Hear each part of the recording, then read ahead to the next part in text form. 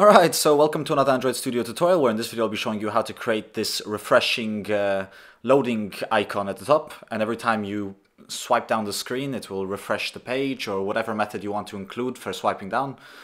And uh, let's get started immediately by going to our Gradle or build.gradle file and going under dependencies and importing this implementation which is the swipe refresh layout implementation and we're just going to sync now.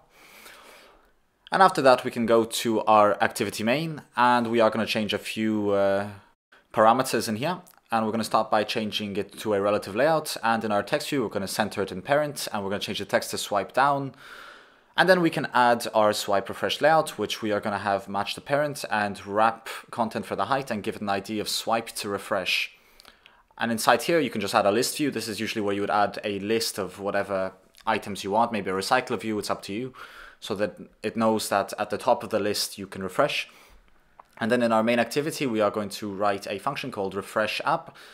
And then we're going to write private function refresh app. And inside here, we're going to write swipe to refresh dot set on refresh listener. And here you can put whatever method you prefer. I just wrote a sample toast message that writes page refreshed. Usually in my app, I just had it refresh the JSON data and retrieve new JSON data.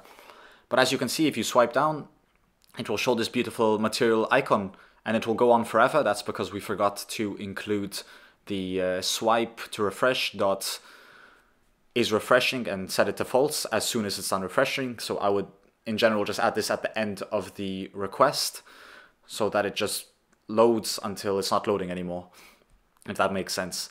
But uh, yeah, that's actually all there is to creating this very simple material swipe to refresh icon.